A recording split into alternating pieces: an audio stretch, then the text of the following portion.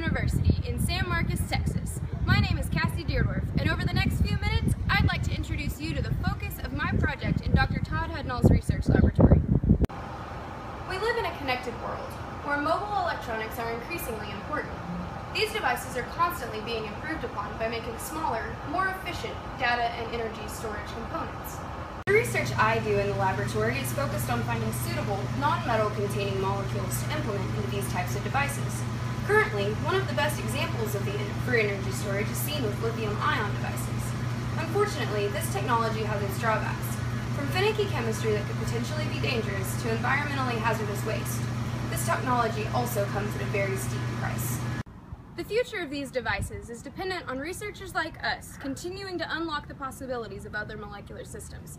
Chemistry has been an important part of my life since I started my career at Texas State in August of 2011. It is incredibly exciting to be able to work with substances that no one else has ever been able to explore before. I cannot wait to see where this path will lead me.